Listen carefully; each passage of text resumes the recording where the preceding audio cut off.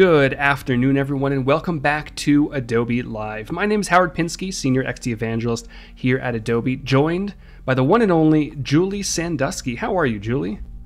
I'm good. How are you, Howard? I'm doing pretty well. Just realized I forgot to put my glasses on. Oh That's no. better. Now I feel complete. I know. I have my glasses somewhere here too, but let's see. Here they are. Got to have those glasses. While, while Julie's finding her glasses, a big hello, good afternoon, good morning, good evening to everyone joining us live on Behance. If you are tuning in, let us know who you are, where you're tuning in from, and more importantly, how you're doing throughout everything that's happening in the world. We've got Jack, Sam, Colby, and Julia in the chat already. Throw your name in there, let us know. How are you, uh, Julie? Doing well. It's nice and sunny out here. That's Um, nice. Yeah, let us know in the chat where everyone's from. Yeah. I always Always love seeing people see. from all over the world. We've got Laura also in the chat. Welcome. All right. So before we dive into things, there's a few things we want to cover first. One, we've got portfolio reviews today. So in about an hour and a half, we're going to be taking a look at two portfolios. So if you are tuning in on Behance, behance.net slash Adobe Live, head up to the portfolio review tab at the top right and we will pick two of them towards the end of the stream and take a look. And I guess while people are still shuffling in, Julie, if you want to introduce yourself, tell everyone who you are and what you do, go for it. Hey everyone. Um, so my name is Julie. I'm gonna zoom in here to give a little intro. Um, so I am a product designer, um, and I'm based in Seattle, Washington, but I'm actually Nice. on the East Coast right now with some family. Um, so if anyone's from Seattle, let me know in the chat, or from New York. That's where I am from originally. Um, and uh, a little bit about my background. So I focus on circular design and food. And so what circular design means is focusing on solutions that design out waste from our systems. Um, so this past year, um, I ended in April, but I was an Adobe Creative Resident. And so I spent the year working on designing solutions to reduce food waste and inspire a circular economy. So that's been like my passion and focus. And we're doing something similar today. So staying within that realm. Um, and something I like to say, you know, there's a little motto here is that good design is better when it does good for people and planet. Mm, Um, so I focus on purpose-driven design and circular methods, and create these experiences that start from the ground up and inspire large-scale change. So I love that's that. about me. Yeah. Nice. And you mentioned that you were a creative resident at Adobe. How was that experience like? Yeah, I mean, it was really life changing. Um, so previously, I come from a self-taught background, and so um, in school, I you know learned design through side projects and hackathons, and um, I ended up working at IDEO for um, during school. So I took a semester off to work there, and I was working on the future of food, which is exciting. Um, and that's where I learned more about like the UX design process and how important research is, and that gave me a really, really strong foundation. And um, yeah, so applying to the residency, I had gone and worked at Microsoft for two years right when I graduated, and I realized that hey, I want to be back in design. I want to be full force working on something that I'm passionate about, and that's what brought me to applying to the residency. Um, has anyone in the chat heard of the residency before, or seen Yeah, I would love to Um, hear what the chat thinks. I know it's it, the residency this year is a little bit different than it has been in the past. We you know we brought on two amazing residents, and what we're also doing because uh, you know of all the changes that's happening in the world right now, and maybe Sam will post a link to the resident uh, portal and landing Yeah. page. Is we're doing. uh, Julie can talk more about this if she wants, but we're basically we have a, a ton of money. I think it's a million dollars that we're dividing up between people all over the world and they'll be able to apply tell us about their project and i believe they can receive anywhere from $500 to uh, $5000 to complete that project which i think is so cool Yeah. Yeah. So the residency last year, we had about nine residents. And with everything happening this year, Adobe kind of realized like we need to be able to support a lot of artists in a bigger Yep. community. Um, and so that's why they created the fund. So anyone in the chat, if you're interested in learning about the fund and applying with a project, I highly encourage you to do so. um, they, you know, it everyone here probably is interested in maybe UX, so they have like a whole UX portion. Um, but you also can apply as a photographer or a graphic designer, an illustrator. So any community you're a part of that you think someone would benefit from a program like this, definitely have them apply. Totally, We'll yeah. pro- It's not just UI and UX, right? Right, right, yeah. So really anyone in a creative field that uses some Adobe products, um, yeah, they can get funded for their project. So Nice. it's kind of a mini residency. It's like a four week residency. Yeah, Um, so it's a cool opportunity. indeed. So before we're going to dive over to, to um, what you're going to be doing in a second, I do want to sneak something.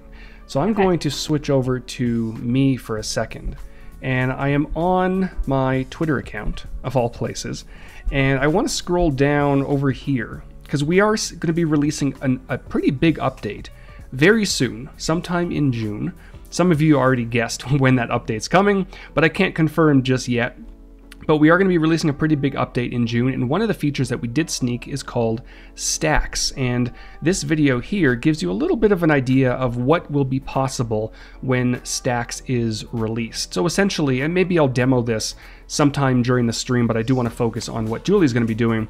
Is, you know, you'll be able to very quickly rearrange, add, duplicate, delete elements, and you really don't have to worry about manually taking over and just that you know the annoying process of moving things around it's just no one wants to deal with that right? So as you can see here stacks will solve a lot of that. And i've been using it for a little bit and it's gonna it's gonna be a game changer for adobe xd so get ready for that. Sam just posted a link if you want to see a, a better video of it. But get ready for stacks stacks are coming. It's not the only feature that's coming but i can't talk about those just yet. But we will uh we'll see those before you know it All right, Julie. So, what do you have planned for the next two days? Yeah. Yeah. Also, just on that note, I'm super excited for those those updates. I can't wait to use that. I know it's going to be great. So stay tuned. Um, I saw in the chat someone is asked if they if a beginner can apply to the program. Um, so it depends. You want to have like a portfolio of work to show. Um, so that can be like side projects and things that you can put in a portfolio. Um, but if you're a beginner, I always just recommend applying, giving it a shot because you know you never know what what could happen. So definitely apply. yeah, the Um, worst that will happen is, you know, Adobe says no, and it just forces you to continue building up your portfolio. You know, on a personal note, I've been applying to work at Adobe for probably the last 10 years. And it's taken that long to finally land a position. I've heard no a lot because either I wasn't qualified or there are no positions available. Um, but you just got to keep trying. You got to better your skills, you got to better yourself, and eventually it will work. Well, I'm so glad they got you, Howard. Me too. you have the most amazing website, letsxd.com. I always recommend that to people. If anyone's starting in XD, I'm like, go to letsxd.com. That is Oh, thank you. where you need to start. um, awesome. So, yeah, today I'm super excited to be here again. This is my second Adobe Live, my first Adobe Live remote. Um, so the new normal for everyone. Um, so, like I mentioned before, I focus a lot on circular design and food. And um, something I've been doing a lot lately, now that I've been home a lot more often, um, has been gardening and um. Growing vegetables in my driveway of all places. So In I your driveway. I need to know yeah, more in my about this driveway, and I'll show you a photo. we just got we just moved into a new home not too long ago and we have a you know little bit of land in the backyard and we want to start planting things we have Yeah. no idea like what we're supposed to how be to doing do it. Yeah, yeah.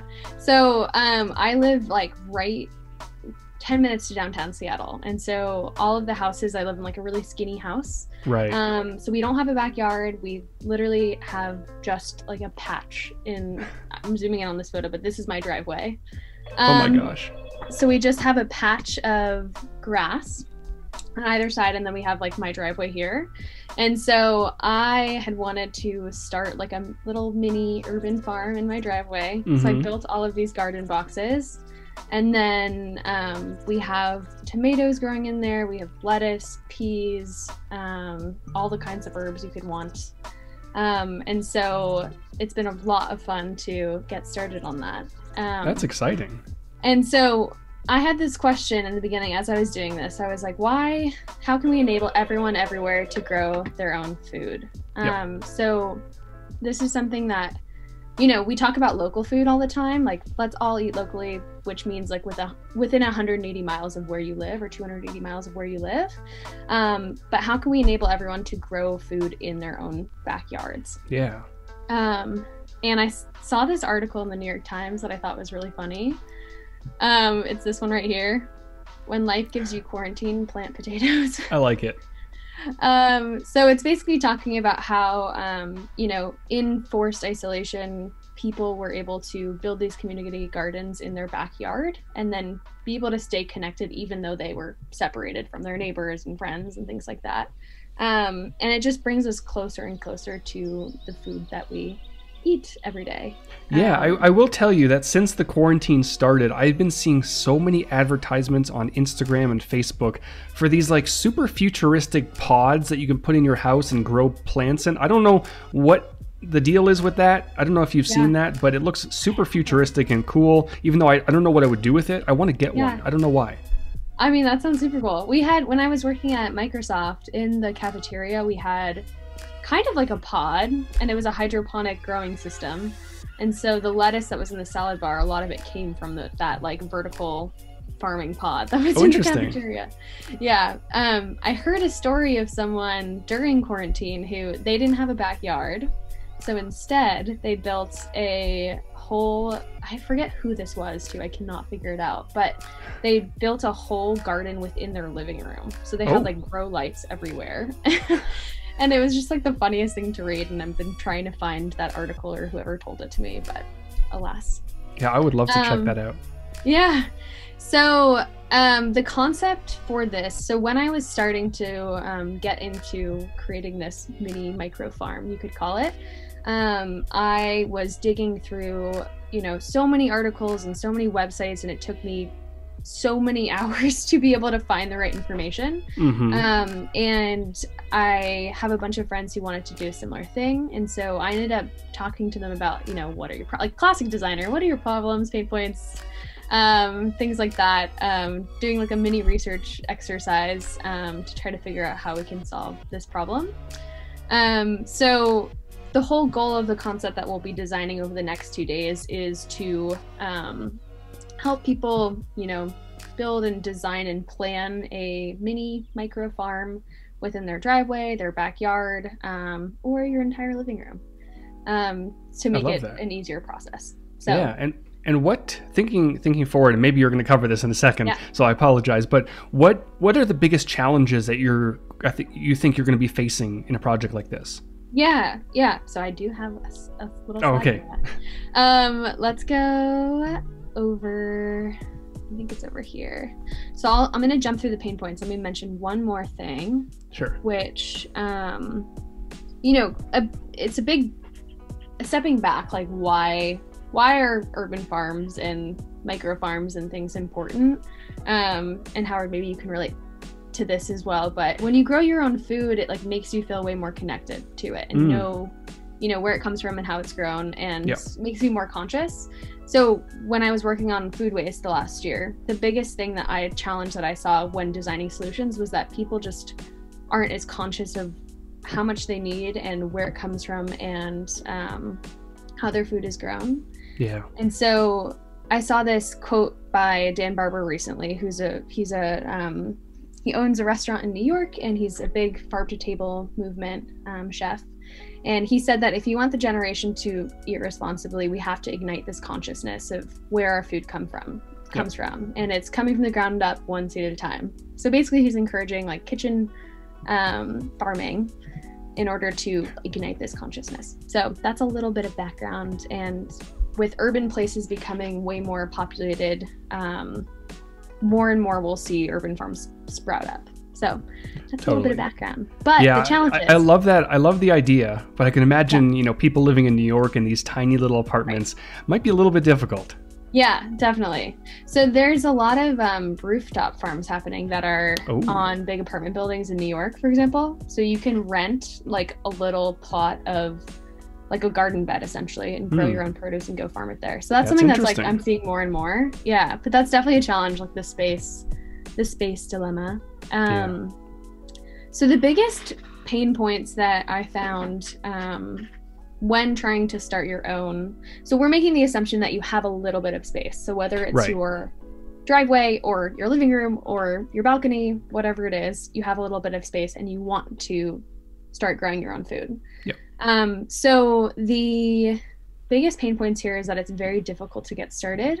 So you need to do a lot of research, and um, I ended up having like a notebook full of notes on what plants can go together, when they're harvested, and things like that. Um, the other thing is that it's very um, it has to be personalized to where you're located so what region you're in um, and the weather conditions there so howard remind me where you're you're in denver is that right Or in I, I am, yeah. okay so colorado and seattle maybe not as different but if you're living in florida or somewhere else in the world um, you know different weather will require different conditions for those plants to grow That's true. Um, I, I found that um, with cooking as well. Uh, my Yeah. parents come down from Canada quite often, and because of the different elevation, it's. Yeah. completely different when you're cooking things like uh, cookies, for example. You have to either cook them longer or you know spread them more apart because it, Yeah. it affects everything. And the same goes with planting things. I know. I found I, I found that so interesting the altitude difference with cooking. it's like yeah, you really have to be conscious of it, like knowing what I feel like I never know what altitude I'm at when I travel. Yeah. you know, going to a place like Colorado versus elsewhere. So super interesting. But yeah, exactly. So it affects how your plants grow, um, and has requires different care instructions and stuff like that. Um, and the last thing is that the main takeaway is that when you make a mistake or something goes wrong in your garden, you don't really realize it until it doesn't produce, you know, vegetables. So Right. you want to be able to set yourself up and have this like feedback loop um, to be able to understand like what could I have done differently or what should I do in order to take care of this plant so that it actually produces a vegetable. Um, yeah, so those are the main pain points to tackle within a concept like this. And I wrote out a few questions that I was hearing most often um, related. And, and a thing, a research tac- tactic that I recommend to people is go through like online forums. You'll find so much information um, about who your users might be. So things like Reddit. I don't know if you've ever done that before, but All the time, yeah. um, all the time going through and just finding like what are the patterns so if you don't have resources to you know compensate someone to have a 45 minute interview you can just use what's online as well Yep. um, that'll get you pretty far in that research process um, so being able to dig through a big reddit thread find what the Uh-huh. patterns are um, and then list those out. That's a good research tactic yeah we, we do that a lot with um, obviously when we're researching adobe xd and and i'm sure you've seen this. People who use design tools are incredibly vocal so you know there are very large reddit threads. There are forum posts. There are tweet twitter threads just of Mm-hmm. things that people like people don't like. Some of them are nicer than others but you know there's there's vocal communities in pretty much every single industry and i'm sure planters are vocal Yeah. at some point as well. Maybe not to the level that like maybe not to the angry level that some other industries are but you, you can definitely find a lot of information by just browsing online. Hmm I know. I just, I don't think I've found like a full farming forum before, but I can imagine like that would be really really interesting to see like going Yeah. through that. Um, I went for this through a lot of like beginner gardener websites and forums like that, and so these are some of the questions that I saw, and honestly, a lot of these questions I had as well when I first started. Um, so things like what time of year is it best to plant certain vegetables? So some obviously need to be planted in the fall, some need to be planted in spring, and so on. Um, should you plant seeds directly in the soil or should you start them inside? So a lot of Hmm. seeds need to be started inside under like a grow light or something um, in order to make sure that they'll actually sprout and not get hurt by really hard rain or, or something like interesting that. yeah Um, and then the biggest thing is which plants can go together. So soil health is super important for growing your own food. Um, and certain vegetables require a lot more nutrients, and so if you combine them all together, the soil will just be totally depleted and nothing will grow. Oh grow. wow. Yeah. So um, there are what's called companion plants. So if you have broccoli or something, broccoli can is a companion plant with radishes, and it's not accurate necessarily, but you know, certain vegetables can um, be planted with broccoli to make sure that the soil is is balanced there. Um, Right. Okay, that makes sense. I mean, it's the only the only thing I know about planting stuff is from Animal Crossing. If you put certain plants near Oh, each other, something different will happen. Um, Yeah. But that's the extent of it. So I'm I'm pretty much useless. Yeah. I love in Animal Crossing how they have the hybrid hybrid flowers. Yeah. But Yeah. it's like mimicking real life. um, so let's see a few other things. I won't go through all of them. Um, but how do you troubleshoot a plant not growing? So Hmm. if there are certain pests in your area, like I found a ton of slugs on my plant the other day, no. and I was like, "Oh my god!" and it started eating my lettuce. I'm like, "How do I get rid of this?" Um, speaking of, there's a great movie called Biggest Little Farm. Hmm. Um, that's a documentary style movie, but it's about a someone you know starting a farm without really much experience in California, and it's just a beautiful movie. Um, so do watch Never it, if it. you're interested. Um, and then let's see, soil having enough nutrients is another one. How can you? How far apart do you have to space your plants? hmm that's important in order to make sure that they grow. Um, and then if it rains, do I need to water them? Simple things like that. Right. So those were a bunch of the questions that I was seeing. Um, and another thing that I like to do, I'm gonna hop back over here. So whenever I'm working on a concept and I come up with a general idea of what I'm gonna do, I always go out and I look for who's out there? What are they doing? Um, like are there any apps or any solutions that exist that are already trying to solve this problem? Right.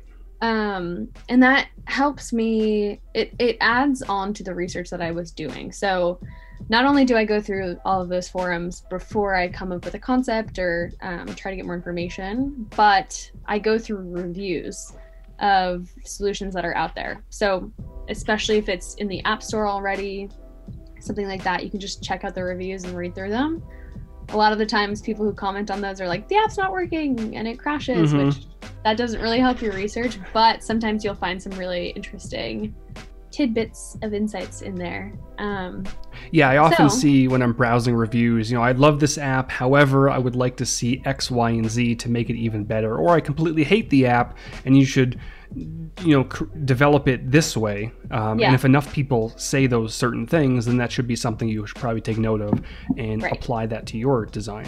exactly yeah so you can you can definitely figure out some feature prioritization as well just within reviewing other people's apps that they've created already Yeah, we do have a Um, question in the chat from Yeah. Senthil. It's a pretty big Yeah. question, but can you explain me about product design? Okay. So there's a lot of terms. I know Howard, you can relate the, to this, but there's a lot of terms out there like UX designer, UI designer, Mhm. interaction designer, product designer. um, so I can tell you right now, there's not one definition. Um, so what I and I'll add on your your definition too, Howard. Um, but a product designer is someone who designs products, obviously, but more so designs the way that we interact with things. So, um, you know, with UX, it's how can we create seamless experiences to get people to achieve task A and task B. Yep. Um, and with product designer, it, to me, it encompasses not only digital designs but also physical products. Um, so it really is mostly about designing the interactions that we as humans have with the products that we use. If that I makes love sense. it. Yeah, I, I completely agree. There's so many different titles out there, and they're just Yeah. getting. I don't want to say the. I don't want to say worse, but they're just getting. There more titles are just being piled on to our industry, and it's hard to really differentiate what each one does. But I Yeah. think product designer is a good one because it's pretty straightforward. But you Yeah. also have a, a lot of different like UI interactive designer, and you have all these other things that are just super confusing. But product Yeah. designer, great title. Thanks. um, yeah, and it's funny too because I think, um, you know, previously I was like UI UX designer was more of a thing. Not it's still more it's still a thing, but like it was more common than I see now, actually. Yeah. Um, but I think what happened there was that people realized that they really go hand in hand, like having UI experience with um, visual design as well as experience design, kind of meshing together to what a product designer is. Um, so yeah, it's interesting to see like which terms develop more and how they're used in the industry. Yeah, totally. And if anyone else has questions for Julie throughout her stream, definitely throw them in the chat. I'm taking a look, and I believe you're taking a peek from time to time at chat as well. I am, yeah. nice. Just so whenever I look to the corner, and that's when me on the chat. So feel free Oh, to ask so questions and Julia is in the chat, and she says she studied product design in Germany, and I was never interfered with wireframes at all. Wow, It was all it's 3D, industrial design. That's interesting. So that you know the Yeah. product, the the title could completely com- can be completely different based on the country you're in. That's interesting. Yep. Yeah, I know. That's why it's like you really always have to ask like what do you do specifically Yeah. um, whenever there's a title within design, so you understand. Um, oh, Howard, happy marriage anniversary! Thank you. that in the chat. Eleven years. Wow, congratulations! That's Thank you. It's gone by so quickly. Yeah, I can imagine. Well, go out and celebrate when quarantine is over. Yeah, really. at home. Yeah. um. Okay. So let's see. Where were we? So we were looking at um a couple different apps that are out there that are focused on. Right now, it's just gardening. Um, Right. But I'm specifically focusing on like urban farming, so farming food. Um, so a couple apps that are out there. I'll go through them really quick. Um, so Garden Plan Pro is a an app that you have to pay for, which a lot of people don't pay for apps anymore. So That's true. yeah. Um, but I guess this must be useful. Yeah, the App Store really uh, changed a lot. You know, I remember the Yeah. days where things like the Creative Cloud, for example, if you wanted to buy the entire suite, it was like two thousand dollars or something, and Mhm. you know, games sixty dollars a pop. Even though Yeah. you know many of them are still that, but you go to the App Store and it's a ton of free stuff. But then there's micro interaction or micro interactions, micro transactions, and there's um, subscriptions. There's a lot. It just Yeah. changed completely, and a lot of people, because of that, don't want to pay for anything these days. Yeah, I know. I, I mean, I feel the same way. Whenever I'm like, there's an app that I have to pay for, I really need to figure out if I'm gonna like it, you know, Yeah, and I'll actually get value out of it, even if it's you know the cost of a coffee. It's so it's so weird how how much that affects like our willingness to to get an app these days. yeah, Um, and and sometimes you don't even know if what you're buying is going to work. You know, I'm just thinking Yeah. to an app I purchased recently. We just got a Peloton not too long ago, and Ah. it doesn't interact. It doesn't interface well with the Apple Watch, but there is Oh, an application that you can download that will. So. Mm-hmm. You know, it was like ten dollars or something like that, and some people Yeah. say it worked, some people say it didn't work, and you don't really know unless you buy it and try it because there's oftentimes not a demo available. You can't just try it for a few hours and see if it works and then give it back if it doesn't. Yeah, yeah. So people really have to get creative these days with, you know, from the business side of things. Let's assume all the apps are free because that's how people will download it. How can I then make money within that app? So that's where things like subscriptions and other little tactics like pro features and stuff comes into play. So, Yeah. but yeah, it's interesting to see that like cultural shift into Mhm. the subscription model. I wonder where it's going to go next. Yeah, that's actually a, a big thing with the circular economy. So, um, leaning more towards a subscription based society. So, where Yeah. we don't own things, but rather we're like renting them. Right. Um, it's actually way more environmentally friendly. Not, I mean, I'm talking more about physical products than like digital. Yep. Um, but digital kind of it can apply to Um, but yeah, that's hopefully we'll see more of a shift to that model within all of society. So even things so. like like Uber sharing cars, um, Airbnb sharing space that's not being used. yeah. So yeah, it's super. I just want to get away from microtransactions. I think those are so bad for the the industry, especially when Yeah. you know kids are involved. I, there was there have been so many stories where kids have just grabbed you know, their parents' phone, or the parents gave them an iPad with a bunch of Yeah. games on them, and this Yeah. was probably back before all these restrictions were put into place, but. They just racked up thousands and thousands of dollars in these Oh my God. microtransactions because the kids don't know any better. They see this little pop up come up, and you want more uh, diamonds or whatever the in game currency is. They press, yes, I want more. I want 500 more. They don't know what they're spending. Um, Yeah. It's just it's sometimes it gets very toxic. I know. Yeah, there really needs to be barriers for Yeah. that to not happen. Yeah. Um, but hopefully we'll see less of that, the microtransaction stuff. Mhm.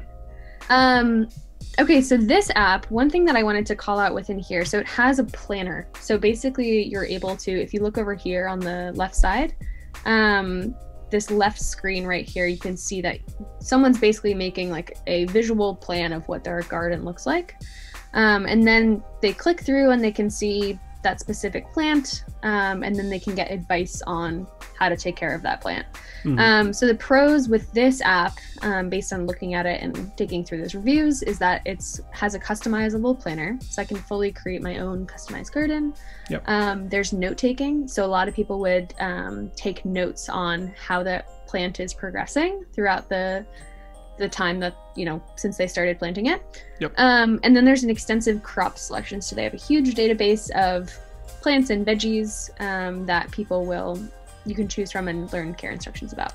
You know, just looking at that uh, customized, customizable planner screenshot, Stacks, which is coming soon, is going to Yeah. make that process so much easier. Yes, I know. Mhm. I know. I really want to incorporate that into this sometime soon. So maybe Mhm. I'll do that.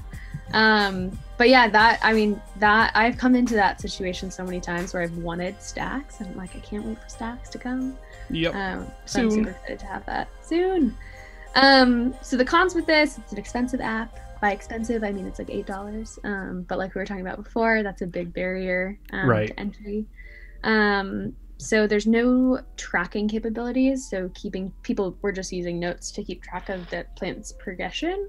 And then there's kind of a complicated UX. If you look in here, there's a lot going on. Um, And it's a little bit outdated as well. So just some of the things like these harsh borders and colors and icons and things like that. So there's some some stuff we can do there. Looks like an old school version of Microsoft Excel or something. It does, right? I was gonna say that. Yeah. um, so it has a lot of a lot of room to grow. Mhm. No pun Um, intended. So the next one is something called gardeners.com and that has um, it's all free and it's only web based. So Okay. it has a similar model where you can customize like a garden bed and things like that. Um, and it's free, pre-made garden plan. So if you, you know, want to focus on leafy greens, they have one pre-made for you, so it already does all the work. Hmm. Um, the cons is that there's no mobile app. It's a little bit outdated as well, and there is a limited selection of vegetables. And this last one, kind of similar. It's funny they all have the same like color green. I've noticed that. Yeah, it's if you interesting. notice, I know. Um, And, super and if I'm being very honest, I'm not a huge fan of Yeah. any of them. It's like a very washed out, yellowish, greenish, brownish. Mhm. I don't know. I would love to see an app like this, but with some fun, bright greens and bright yellows and a little bit of browns and oranges. Yep. Well, hopefully we'll do that. Yeah. we'll throw that in for the visual part.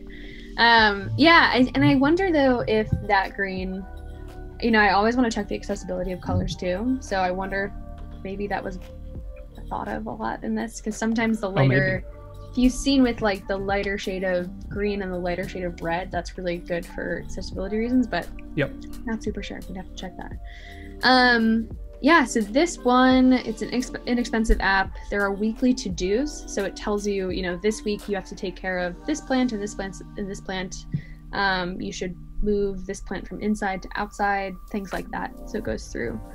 But you also have to pay up front. So, like we were talking about before, you don't know what you're going to get with the Yeah. app until you buy it. Interesting. yeah so um going through all of those um so someone asked in the chat um which application is best for ux designers so i think what they mean is which design application but i'm not super positive so Senthil again um but right now we're using adobe xd and it's definitely my favorite and howard i assume it's your favorite too. I would Um, hope so. and it's a great you know it's a prototyping software so i honestly do everything in xd even like pitch decks and presentations. Um, Yeah. but it's a really quick way to design screens. Um, so it's a great tool to check out. So yeah, you and if there are any specific features that you'd like to see in XD, specifically thinking about UX design, definitely let us know. AdobeXD.uservoice.com. There's also a lot of plugins that can help with that. Specifically, yeah. there is a plugin called Mockup. No, it's called uh, Whiteboard. Um, it's made by one of the teams at Adobe, and they also are in the process of releasing a new plugin called Quick Mockup, and that will allow you to create very quick templates and uh, you know just block out elements, very bare bones, and then you can add themes to it, which is super cool as well. So there's there's a lot of really interesting plugins that will help with that process. Yeah. Um, in addition to what's built into XD, and I do see um, Sumon in the chat is asking. He, he said, "I learned XD from my tutorials. Thank you very much." Uh, the problem have no experience with Photoshop, Illustrator, and Color, how do you improve? And it's an interesting question. I think, you know, one, you're in a good spot right now. Watching Julie throughout the stream, you're going to learn a lot. And throughout Adobe Live, we do have streams on Photoshop and photography, illustration in Illustrator, and many of the guests and the host talk about color theory and the process, why they're designing a certain way, how they get to the end result. And honestly, there's there's a ton of free tutorials on YouTube as well. I mean, it sounds like you've probably watched a few of them. Continue doing that. Continue practicing. One thing I love to do because I'm still learning. I'm, I'm always learning. I'll never stop learning. Is I'll go on Behance. I'll go on Dribbble, and I'll just look at some of the most appreciated projects. Find things that are really striking that maybe I can't necessarily do at the moment, and try to recreate those. You know, try to um, figure out why the certain colors were used. Maybe it's for accessibility reasons, or maybe it helps pop out a color from the background. There's a lot you can do there, especially when you're recreating something. I found that helps tremendously. Yeah. Yeah, another thing I would recommend is Adobe has a lot of blog content as well, so XD hmm. Ideas. Yep. Um, they have probably articles on typography and imagery and all the things like that. That's a great spot to go check out um, you know, coming from like a self-taught background too, like you can do it and keep learning. Um, and just we have there's so many resources online for you to get started. And I always recommend like learn by doing. So yeah. go any problem that you're interested in trying to solve, just start sketching. Um, and look for inspiration, like Howard said, online. Um, Dribbble and Behance is a great place to start. Um, and you'll really find a lot of information and you'll grow that skill as you as you flex that muscle. Um, and on color i love playing with color. Um, howard i know you do too in a lot of your designs. Um, mm-hmm. this is some of my past work. I'll zoom in here. But i use a lot of bright colors. Yeah. Which which i have a lot of fun with in designs um, so you know this is kind of a bright orange but yeah i just i always find that it, it just brings life to des- the design and character. Um, yeah, it makes us happy. Yeah, it makes you happy. And honestly, um, going back to what Sumon was asking about, I don't know if he's still here. Uh, I haven't seen him respond, but a lot of the designs that I've been doing these days with the bright, flashy colors right. came from was were inspired by Andrea Hawk, a previous yeah. creative creative resident. She does a lot of daily creative challenges, and she is amazing with color. Right. She just uses the right colors in the right place, the right tones, and I got a lot of inspiration from her, which yeah. I've been applying to my project. So just keep watching people, get inspiration from uh, websites, and keep moving forward. Yeah. And you can always pull in like a design from online and then you can color pick those colors and put them together and see how yeah. they work. Um, that's a great way to like test different color palettes people yep. who have you know there are some um, color picker websites out there too where you input one color it'll give you suggestions for what other colors would go alongside it so yeah color.adobe.com i think is is one of those there you go mm-hmm. perfect mm-hmm.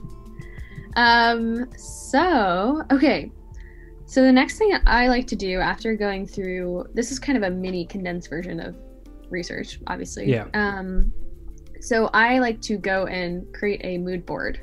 Um, so with this topic, something that I've thought of was I've seen this in the grocery store sometimes, but the Farmer's Almanac. Have you ever seen that, Howard? I don't think so. Okay, so it's basically it's been running since 1792, um, hmm. but it's a little publication about like weather predictions um, based on different locations, and um, it's still in print today, which I think is awesome. Oh my gosh! Um, yeah, and I don't know. I just I, I love that that concept of being so old and still existing today and still being printed. Um, Yeah. And so I pulled in a couple like modern takes on the Farmer's Almanac. Um, and then we have some urban farming going on in here. Then I also pulled a couple designs that I saw online that I really liked the aesthetic of, um, Mhm. and they're related to plants too. So just really simple. Um, you know, some bright colors in there as well to bring Yep. people in. And then this one over here. Ooh, that's fancy. Yeah. So uh, something that I, when I was, you know, thinking about this concept, I was like, it would be awesome to be able to, which we'll do this tomorrow, um, to use auto animate to have a plant like grow Right. Over time and be able to see that progression. Um, so we'll pull in an illustration tomorrow and be able to prototype that um, using auto animate. So I was inspired by this one um, and wanted to make that kind of interaction.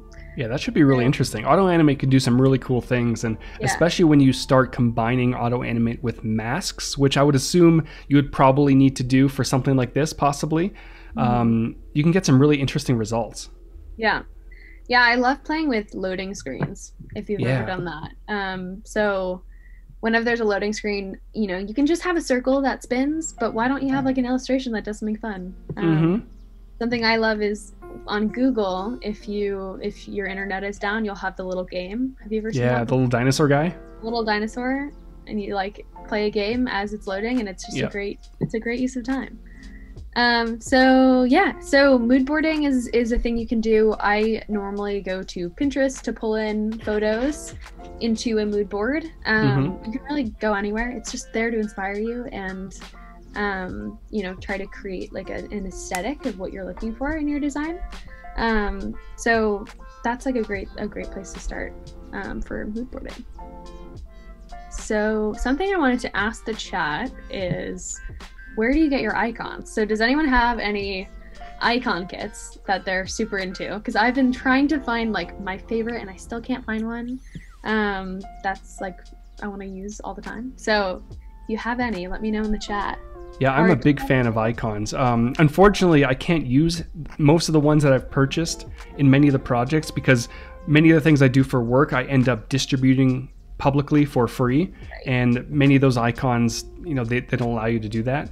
But I use the Icons for Design plugin in XD. But um, the the ones I have purchased, I think, are Streamline icons. Yep. And what was the? There's another big pack that I purchased as well, and I have them all loaded into Nucleo. Yeah. Yeah, so I actually pulled in the free version. I haven't bought the Streamline full pack, but this is just the free. I threw some icons at the bottom there too, but this is the free version of the Streamline pack. So I think it's just streamlineicons.com or something like that. Something like that. Um, but these I found were really, really clean and nice. So Mhm. I might have to go buy the full one. I know. Yeah. It's so tempting. Yeah, it's really tempting. Icons are really fun. Um, or you can create your own icons. So you That's can true. make those in XD with the point tool. It just takes a little more time, obviously. Yep. Um, another thing I use is the Noun project. Have Oh, you yeah. used that before? Mm-hmm. Yeah.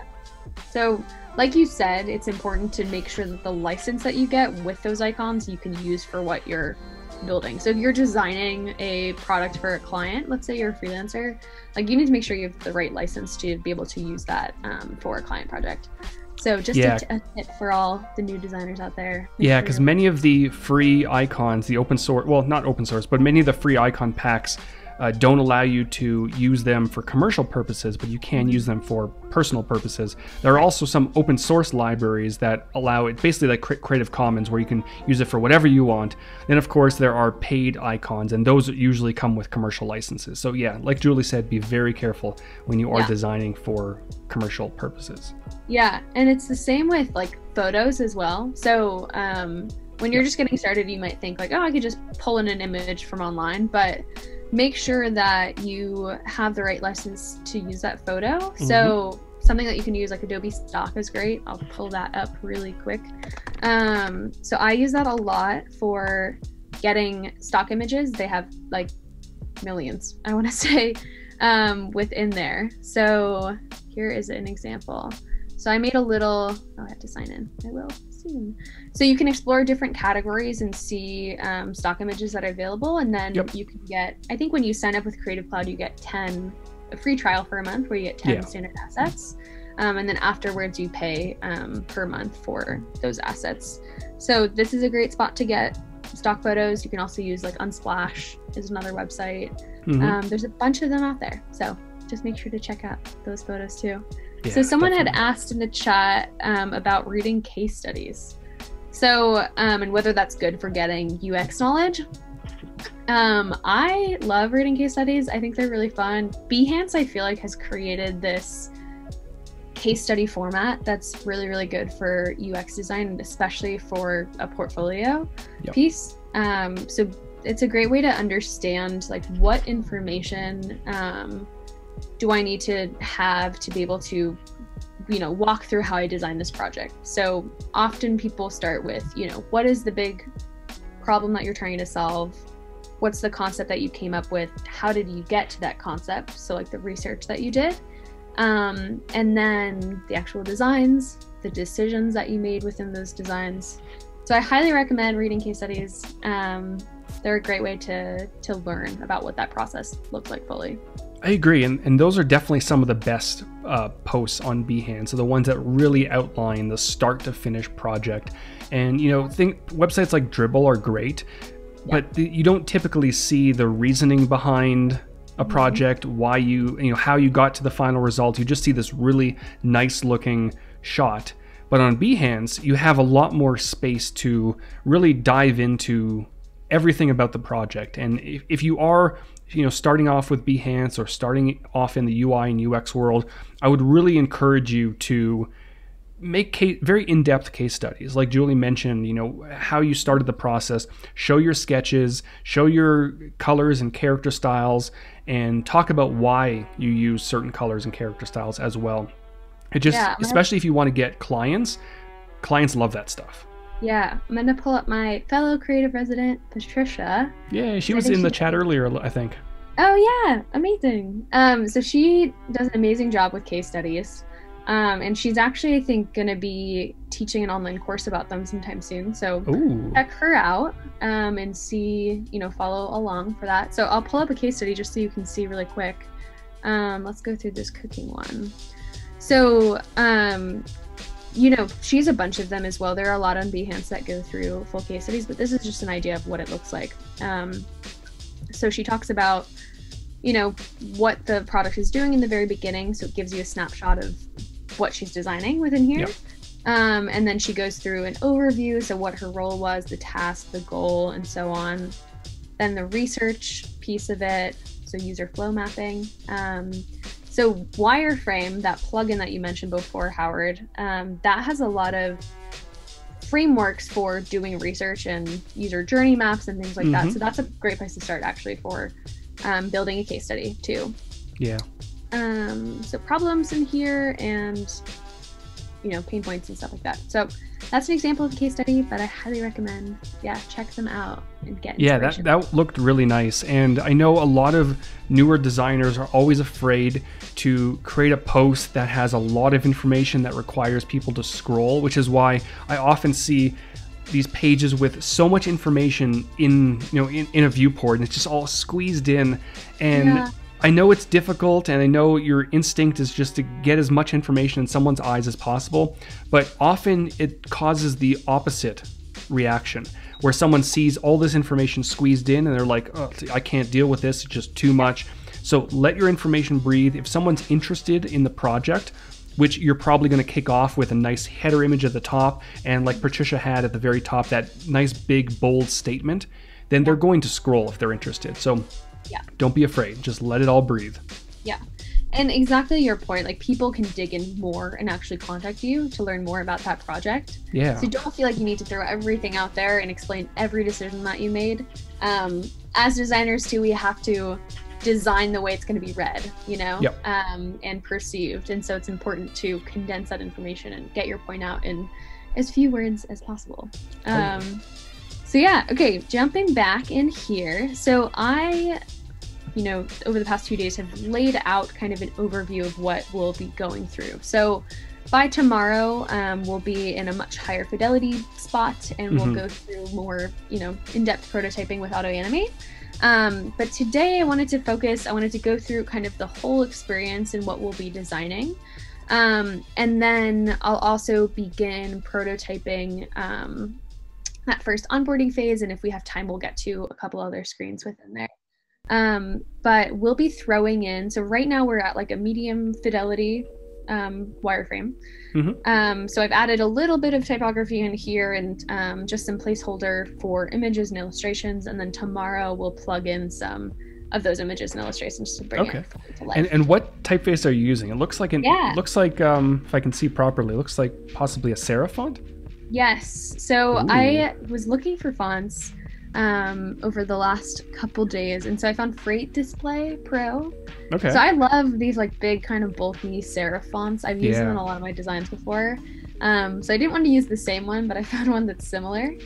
Um, and one that I also like is Circular Standard. So Adobe Fonts, um, if you just if you're you know subscribed to Creative Cloud, you get access to Adobe Fonts. Yep. And that's has thousands of different um, fonts within there that you can pull into your designs.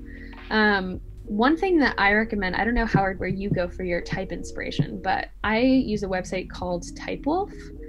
Oh. Um, have you heard of that one before? I have not. I and, and I'm a terrible designer. I typically don't uh, go to places for type inspiration. I, I just go to Adobe Fonts, and they have that little section that you can put Yep. in what your word is going to be, and it kind of gives you a preview. And I Yep. just kind of wing it. But a service like this looks pretty cool. That works. Um, so this is it's they provide like sites of the day. So every day he'll put up a new site um, with inspiration of different font combinations. Hmm. So I they have a, a focus on this website um, on like Adobe fonts that are available. So if I click on this one, for example, you'll see the site, and then um, sometimes you'll be able to see. On, I'll have to find the exact font re- recommendations. I think there's one on like Adobe fonts in here somewhere. There we go. So there's a favorites list. So Oh, um, interesting. here are 40 best fonts available on Adobe Fonts, formerly Typekit.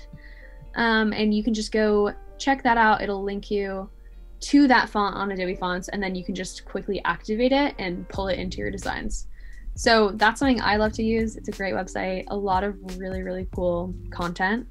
Um, but I, things. There Howard, we I do the same thing too with Adobe Fonts, where I just type in the word and see how it looks, and then try Yeah. to match it up. Yeah, so you're not wrong in doing that. Um, yeah, so I am using right now um, for this header, I'm using Freight Display Pro, and then for Okay. my body, so I was kind of going back and forth between using Circular Standard and then I had actually seen this on your live stream, Howard, but the Apple font. oh, the San Francisco one. So I have this one, Apple System UI. I don't know if that's Oh. the same as San Francisco or not. Um, I'm not sure. That's a good question. yeah, I don't think it's the same. I think it's a bit different. a bit different, but I really like how easy it is to read. Yeah. Um, so I'm kind of going back and forth because this one's a little bit bulkier, it feels. Um, so yeah, let me know in the chat which one you prefer. This one, the top circular standard one, or the Apple UI font. Totally. And as Sam has reminded everyone, we have about an hour until portfolio reviews. Actually, less, half, about half an hour until portfolio reviews. So make sure to click the portfolio review tab and submit it in there. Awesome. I'm so excited. We get to review two today. Yes. Sweet. Okay. Yeah, get your portfolios in there. Okay. So, yeah, so when I start wireframing, it does not look like this. It's literally like boxes and Mhm. sketches and you know i just like to then get to the next stage where i add just some great helps me visualize what it's gonna look like. Um, so that's when i throw in type and start playing around with that. But this could totally change by the end. Um, but i just recommend like get started throw in some visual elements because it'll help pull it all together um, so i'm gonna just go through a quick overview of the flow of what we're gonna be um, doing today and tomorrow so Sure. to start, we have onboarding. So um, for this design, there's a couple things that are important. We want to know where the user is located. Yep. Um, and I also wanted to have a voice assistant in there. So Ooh. since we have voice prototyping in Adobe XD, which you should all check out, which we'll go through. Mhm. now, Um, I wanted to have a voice assistant. So, you know, when you're gardening and your hands are all dirty, you can just like talk to the prototype um, and, well, future product. And then, um, you know, it'll just repeat back to you an answer. You know, I didn't even think was- about that. That's that's incredibly smart because y- yeah, like you mentioned, your hands are usually pretty dirty when you're Yeah. gardening and you're, they're in dirt and you have shovels all over the place. Yeah, and you know, grabbing a phone is probably not what you want to do and just start swiping through with this these Yeah. dirty hands. So that, that's a brilliant idea. Yeah, and honestly, so I actually have inspiration that I got for that vo- voice prototype. Um, so if anyone's used Masterclass before, um, I just had a friend who got a subscription, and um, there's this guy named Ron Finley, and he teaches gardening. So I watched Oh, his video on composting, and I was like, oh, I wish he could just like be in this app and be talking to me um, through the process. So that he gave me a little inspiration for um, having a voice assistant on the prototype. Nice, thank you, Ron.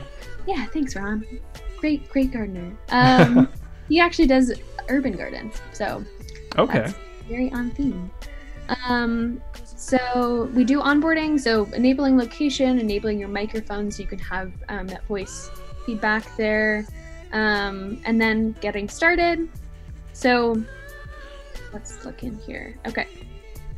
So something I usually do um, when I'm, you know, creating a flow is I go through like what are the main screens. So right. things that I I put these little artboards that are just titles basically for what I'm going to be designing within that portion. Um, but I just like to start with the navigation. So what's going to be in this navigation? What are the different touch points that they have to go to? Because those will each be their own kind of experience, and then you'll have to figure out how they all wire together. Yeah. Um, so if I'm looking at this navigation bar, so I wanted to have the voice be kind of the home portion of the design. Um, okay, yeah, and then so that's where I'll go through it a little bit, but we'll have the voice assistant, but then we'll also have like kind of a learn and discover portion. Um, so things like Ron's video about composting could be in there, um, and other apps within there. and how and much of this decision was driven by user research? Research, because I would imagine you know this is very different. You know, most applications don't have voice as the the initial screen that Yeah. you see. Yeah, yeah. So um, it in talking to you know a bunch of people over the last couple weeks about this concept because I had thought about this quite a, a bit ago when I was starting my garden. Um, so like we had talked about, you know, when your hands are dirty and you don't want to touch your phone, like if you're able Yeah. to just talk to and from and get that information that you need, because when you're planting, you're like, oh shoot, should I? Can I move this plant? Is it ready to harvest? I don't know. Then you have to go wash your hands and things like that. Um, but yeah, you're right. I haven't really seen voice be the home screen of a an app before. I'm trying to think of of an example, but um, yeah, it was it was basically like how can we make that be the center of this experience and bring it home. So you always have someone to kind of rely on for the information on how to create your urban farm. Makes sense. So, yeah, we'll see how it goes. Mhm. Um, the other main thing, so having a guide, and what this is is it's a um, planting guide specific to that month and the region that you're in. So, for example, um, we're in June, so it would be your June planting guide for Seattle, for example. Right. Um, and you can kind of swipe back and forth between July, August, September, and backwards if you'd like. Um, and then plots. So what a plot is, it's you know kind of the space that you'll be planting in. So you can have um, different garden beds within that space. Um, so for example, for me, it'll be my driveway. I'll have a driveway. um, for others, it could be your backyard. It could be your Mhm. balcony, things like that. Um, and the last thing was a calendar. So this is important for harvesting. Being able to see, okay, these are all of the plants that I have um, within my urban farm, and this is the general like overview calendar of when I need to plant those seeds, when I can harvest them. Um, just gives you like a visual indicator. So what that looks like, I don't know if I have an example here. It's like this. It's an example of a harvest calendar. Okay. So um, I'm just zoom it in here. So if you see all of these boxes, it shows that um, the sow, plant, and harvest times. So February to March, April to May. Um, so I just wanted to have that visual for people who are very are interested. Yeah, in- and what do the different colors mean? I, I see there's blue and orange and green Yeah. on there. Yeah, so um, the blue in this, yeah, and I'll probably have a similar thing in here too, but the blue is supposed to be um, sowing the seeds. So um, when should I be planting those seeds, for example, inside? Right. Um, and then the green is like the time frame from when you actually transfer those plants and plant them in the soil. And then the orange is when you actually harvest those plants. So obviously it's a range because you can plant them within that range of time and you also can harvest them within that range of time. Got It it. just depends on your plants specifically. So that's what that means. But I actually, um, when I was thinking of, we'll probably go through the calendar tomorrow, but um, when I was thinking of this being a mobile design and having a table like that, um, you know, I was trying to figure out like how do I get all of that information within one mobile screen, and I found this really cool Medium article um, that talks about like responsive table design for mobile, and so I can show you that tomorrow. But it's kind of some cool ideas that we could probably play around Mhm. with. Let's see. Okay, so we have here creating a garden plot, so creating a thing like dri- your driveway, um, and then we'll have like an, an experience for um, creating a planter within that garden plot. And then here is like an overview of that plot. So driveway farm, you have six different box or yeah, six different boxes in here. And then um, something I wanted to do was when you select a box, um, there's going to be a graphic in here which I'll I'll pull in in there. But when you select it, you'll see whatever that plant is pop up at the bottom. And if it's an empty box, we'll go to this next screen, which will show that you can plant something, and then that'll bring you to the guide. So the way it all can it all connects together, like every single, um, I guess, point of the, the navigation bar, um, but it'll have like different different pieces. So let's see, we'll have the voice assistant. I can definitely see how repeat grids can come into this, especially when you're Yep. designing the plots and, and things like that. Exactly. And in the future, we'll have stacks. Work well for that. Um, so this voice assistant piece, um, so this is kind of that home screen. So if you can see, I have like a learn portion at the bottom here that you can Oh, scroll yeah. down and see different content. And then you have your planting guide. So these are those companion plants that I men- mentioned before. hmm And then this is a plant profile. So I wanted to ask the chat, which we can go through this a little later, but I created two different examples of, of wireframes for those. Um, and we can kind of A B test and see who likes them better. But let's Yeah. get started with the onboarding piece. All right. And Suman is asking, can we make story like story type comics with Adobe XD?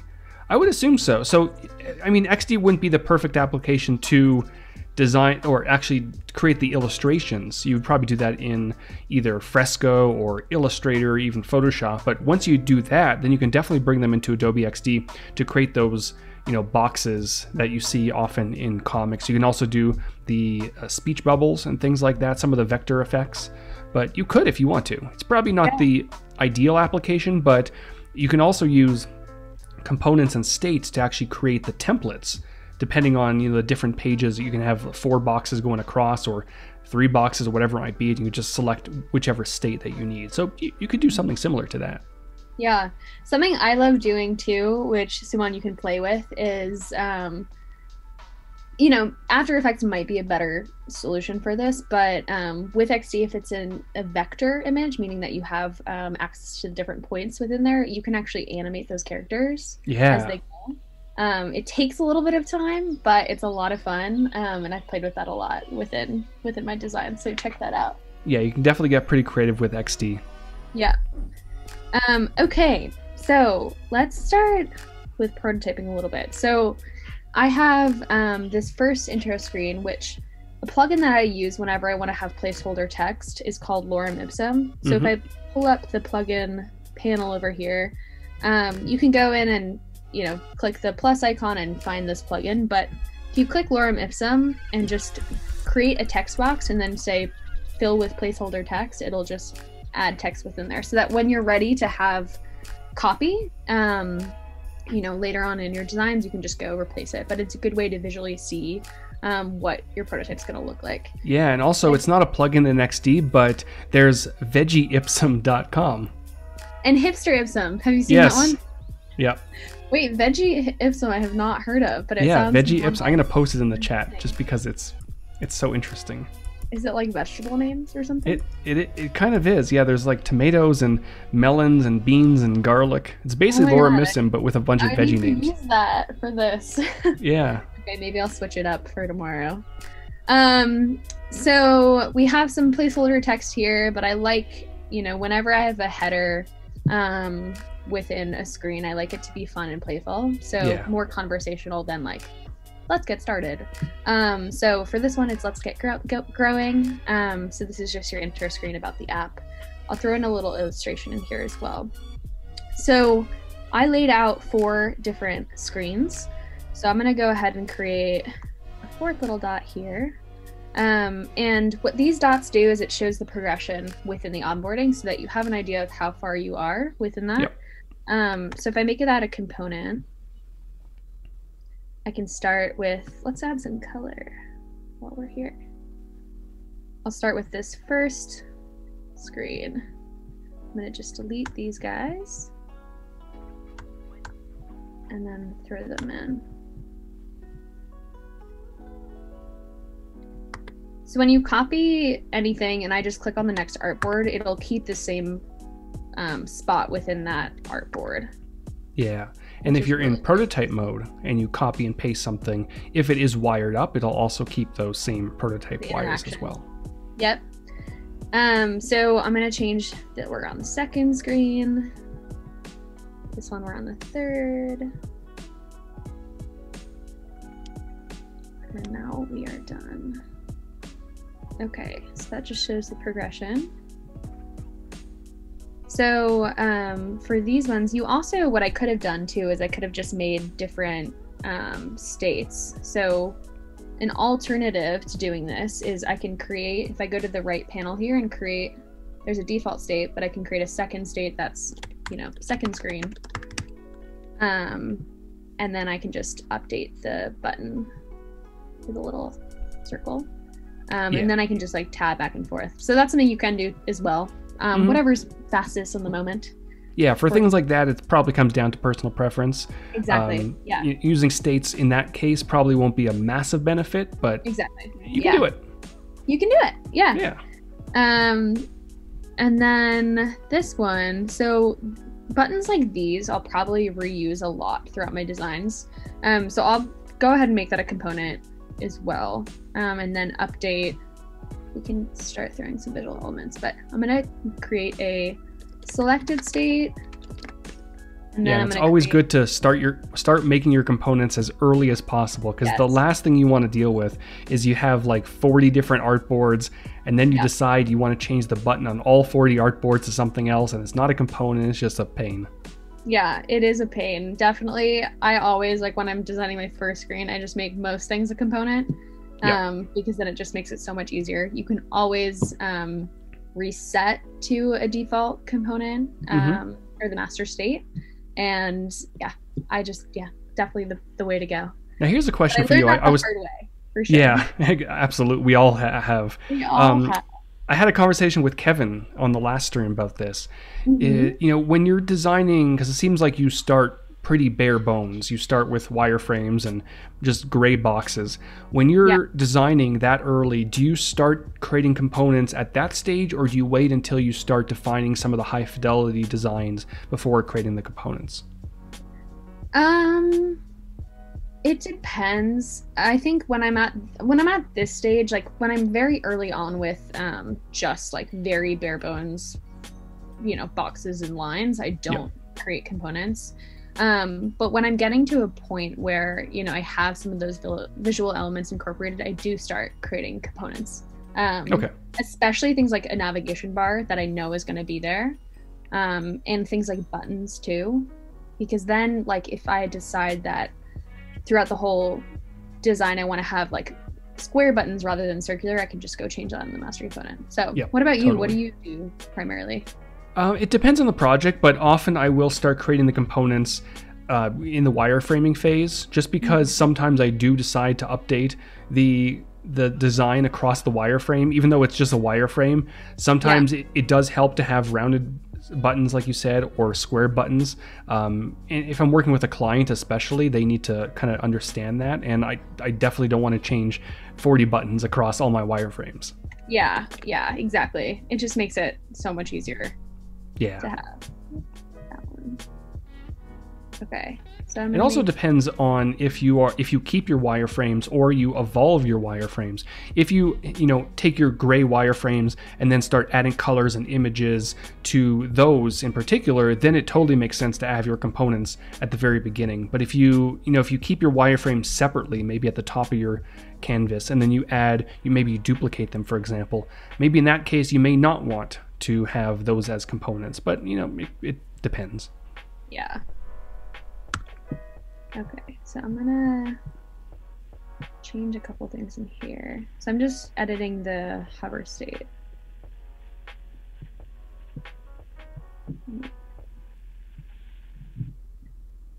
Okay. I might change the colors later on, but luckily, since it's a component, I can do that. That's true. Um, So I did see that you're adding a hover state, and mhm. what, what's the reasoning behind the hover state on a mobile application?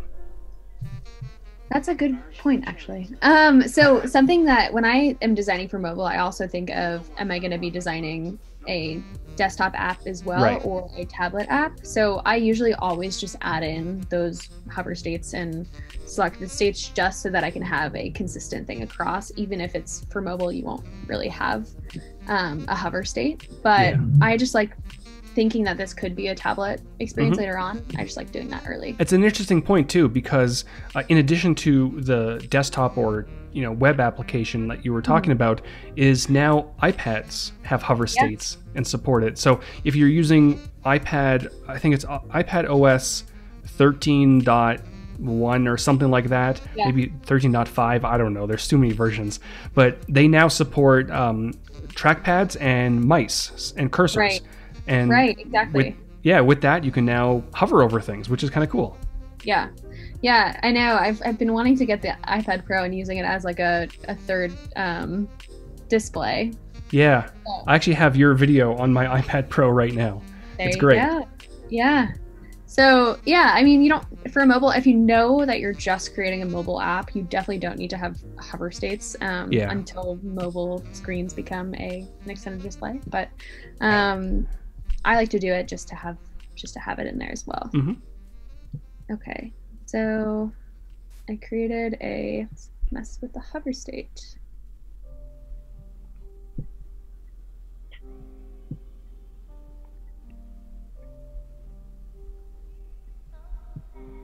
All right.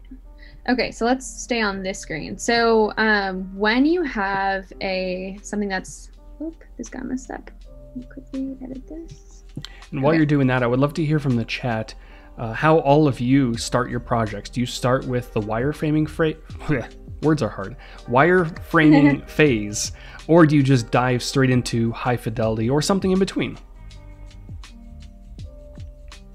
Oh, and Good Annie is asking, do you usually design all of the device screens in one file or different files for mobile and desktop? And I'm going to add to that because you know the team is looking a lot at organization in Adobe XD. There's there's many solutions out there, but we're trying to figure out what the best solution is to offer to help with organization. So thinking about Annie's answer, Yeah. would, would there be something in Adobe XD that you would like to see to help you further organize your projects?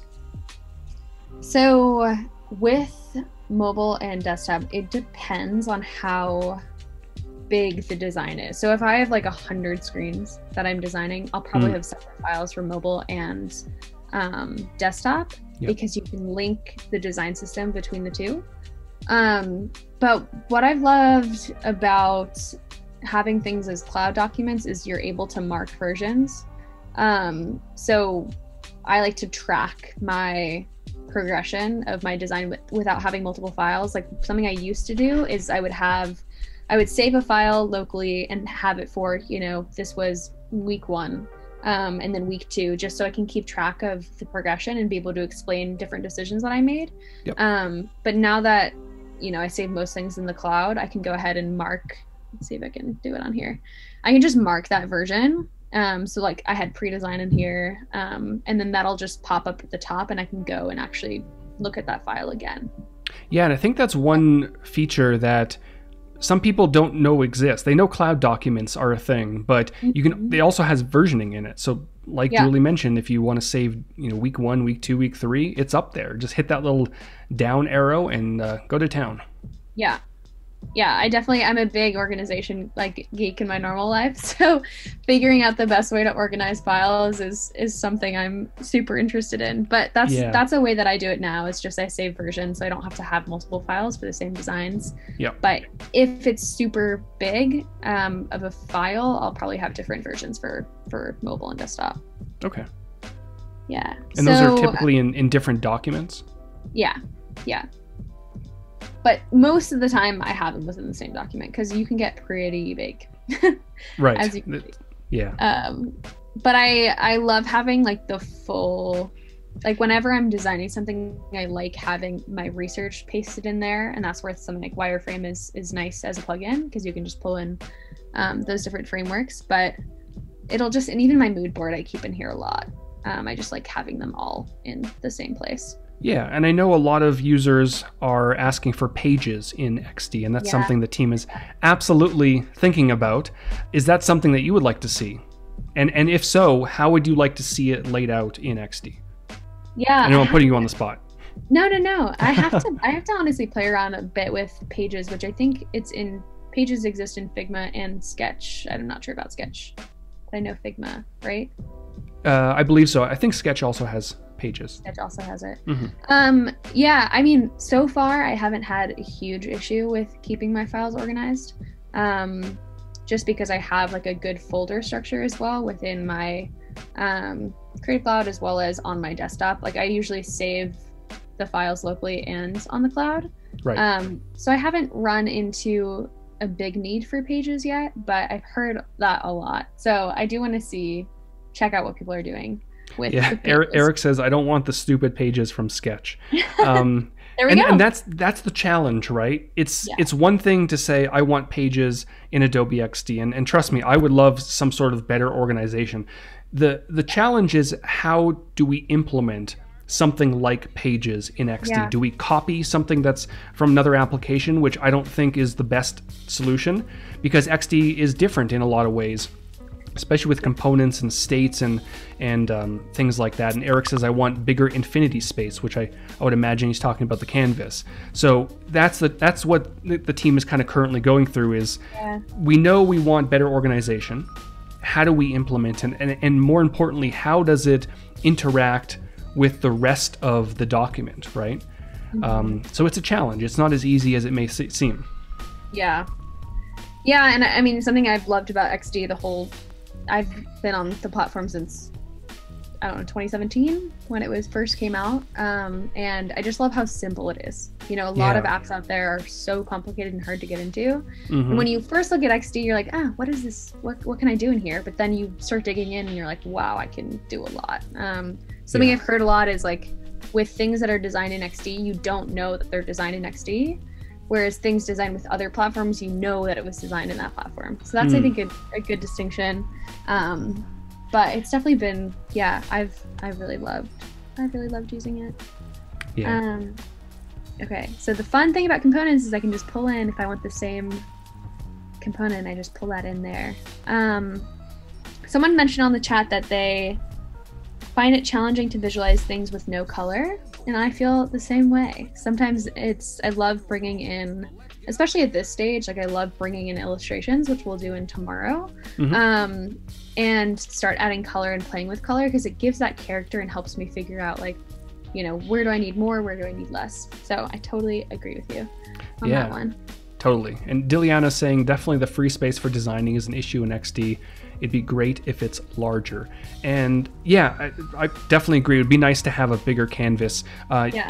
Totally, you know, components and states have certainly helped with that because you know no, no longer need separate artboards for tiny little interactions. But if you are working on incredibly large projects like web designs or desktop designs, which are 1920 by 1080, sometimes even larger, then that could fill up a lot. And I know a larger canvas is something the team wants to get to. The the challenge with that, and there's there's challenges with everything, is when you start increasing the canvas size and you start allowing for more uh, artboards, then that has the possibility of bringing down performance, which the team definitely wants to avoid. So they need to find that balance and they need to make sure that if they do increase the canvas, even if it's a little bit, that performance will not suffer. So all these things are on the top of the team's mind, and Yeah. some things are actively in the works. It's just they, they really need to make sure that performance doesn't suffer if the canvas size is increased or if pages are added or whatever it might be that they could be working on. Yeah, I totally agree. Because it's so awesome how you can just, like, even with 4K images in here, you just zoom in and zoom out, and there's no lag or anything Yeah. like that. So, I like that. Um, do people in the chat, I'd love to know this. Like, I always add these headers um, within my within my artboard space. I don't know. Mhm. It's, it's like a galaxy, basically. Um, but I, I always add these headers with me in here just so when I zoom out, I kind of can see what is within that section. Because sometimes I'll have hundreds of artboards, and then I want to know if people do that within their artboards. Howard, do you do that? I do. I, I don't usually put them inside of artboards. I just kind of have them floating around. Oh, But okay. absolutely, yeah. Yeah, yeah. I like the the no fill artboard. Yeah. Um, so with iOS, um, you have a when you go to enable location. I had designed this in a previous app, so I just pulled it in. Um, but I'm just prototyping um, pulling in that little pop up that says, "Will you allow the like this app to use your location?" Right. Um, I just like to do that like as I go. So I'm kind of going through the whole process right now. Yeah, but- so I just I just had to confirm this just just so I didn't say anything incorrectly. But Yeah. one of the reasons that headers are are kind of cool, in addition to being able to see them when you're zoomed out, is you know if they're on the pasteboard or if they're on a separate artboard and you just select the canvas, you can actually see those on the left hand side in your layers panel. And then if you press Command three, it basically zooms you straight to that section. Wait, say that again. Yeah, so go ahead and select one of the headers Okay.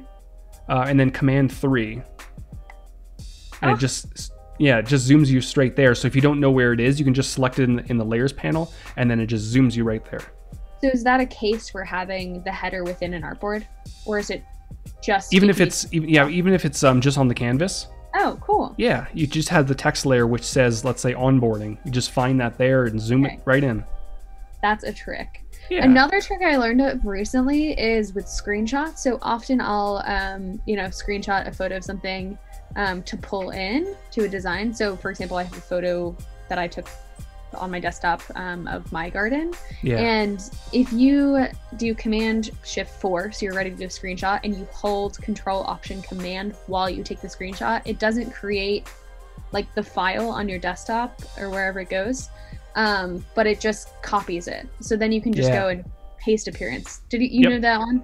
yeah I I, love i use that all the time it's great Party on that Yeah. one. Actually, before the stream, when we were setting things up, and I showed you the screenshot of what whatever what the overlay looks like, I used that same trick. I just copied it to the clipboard and pasted it directly in Slack. Yeah, I'll show an example of it just so we can see. But here's a photo of my banana peels going to be composted within my soil. So if I just get ready to screenshot this, and I hold, you probably heard that little screenshot. Um, you hold those three buttons. Then let's go to the learn section. I can just click in here and then click paste appearance, and then it's automatically masked within there. Mhm. So now this will be like my composting learn button. So yeah, that's I love using that trick. It's so much easier than Yeah. before. Jesus is asking when you have an image scroll, how do you fix the position of a graphic element? I know there's a menu called Fix Position when Yep. scrolling, but I can't find the option in my Adobe XD. Oh. Image Uh, scroll. let's- an example. So it's I think it's just p- fixed position on scroll, right? I think that's what it's referring to. So let's. I'm assuming. I'm assuming that what it is, unless it's something different. It sounds like it could be something different based on the first. But that's why I'm I'm like hesitating. But yeah, Julie will show where fixed position when scrolling is. Yeah. So let's bring. And you have to keep in mind, um, this could be what Jesus is running into, that if the element you're selecting is part of a larger component or mask, it will not show up on the right. It has to be a parent component. So it has to, it can't be inside of something. Yeah, right. It has to be at the top. Um, yeah. So when I I went ahead and grouped this um, bar over here, and then if you can see on the left in the layers panel, it's right at the top over here. And so when I go to prototype mode, I just see fixed position when scrolling. Um, and so let me expand my artboard so that you can see the actual scroll. I'm going to do this one too, actually, while we're here, since that's the navigation bar. So now when I go to prototype, those two elements stay. So I probably mm-hmm. I won't want, want this to actually stay. right. example, but the bottom navigation bar, that's like what I will do in my designs is have that fixed there. Yeah. Um. So just play around. It's probably the issue you're running into is where it is in the in the layers panel. Yep. But good question. Okay. Wow, time is flying. We have I know five minutes until portfolio reviews. Right? Yep. Okay. Okay, so I'm gonna want to add a. And while you're doing that, one of the cool things eh, for, for those who might be just joining, Julie is currently using what are called overlays in Adobe XD. And it allows you to add elements like this little modal, you know, uh, permissions modal, for example, to multiple artboards. And you, don't have to, you know, have multiple duplicates of this instance. You can just have one of them on a single artboard and then basically pull it in to all the other ones on an action like a tap.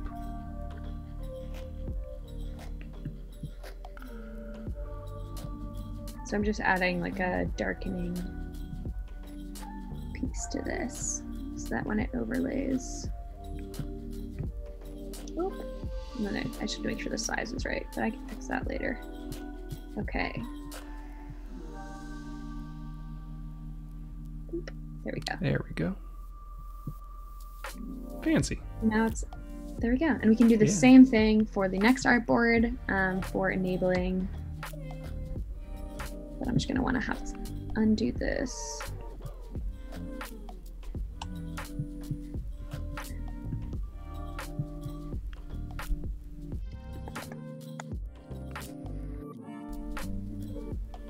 Senthil is asking which laptop is best for Adobe XD. Um, it's an interesting question. It's it's hard to really say which one is best. I mean, a, lot of it depends on which operating system you prefer. I personally prefer Mac OS. A lot of people prefer Windows, and XD does run great on both. I would say, you know, you probably don't need a ton of RAM, but 16 is probably what you want to aim for. 32 if you really want to be sure, but 32 might be a little bit overkill. Um, but yeah, honestly, many of the, the modern day laptops will run XD pretty well. Yeah, I like Mac as well for this, but I have used XD on a Windows um, machine before, and yeah. it works as well. So yeah, I have a um, one of those Microsoft Surfaces, and they want oh, they run nice. pretty well. Do you have the color dial? I really want one of those. I do have one. Yeah, I don't know where it is. It's in a box somewhere, but I do have one. Yeah, it seems really awesome. Yeah. Okay. So I just changed it for the microphone as well. Um, and what's great about components is that, um, and I mean states, I can have multiple states within here. So I have the default state selected um, currently, but if I wanted to have the user on that overlay be able to click allow, um, I just have to edit the size a little bit because um, I changed it, but you can have that within there too. So you can have totally. multiple of those interactions in one. Okay, so I just wired up these and then the allow here. So if I go and edit the states,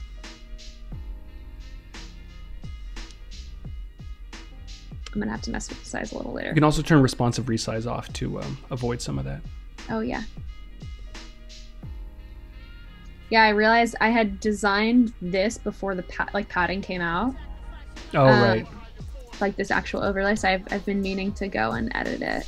Yeah, the team is also working on a few updates to components and states. One of those updates, I believe, is called horizontal sync, and that will allow things like resizing across uh, the source component and the uh, states to you know sync. And also if you if you have like let's say hover effects right and you duplicate a component and you edit the text in one in the default state it'll also edit the text in the hover state as well. So the, a lot of a lot of updates coming to components. Don't know exactly when those are coming but Yeah. something the team is actively working on.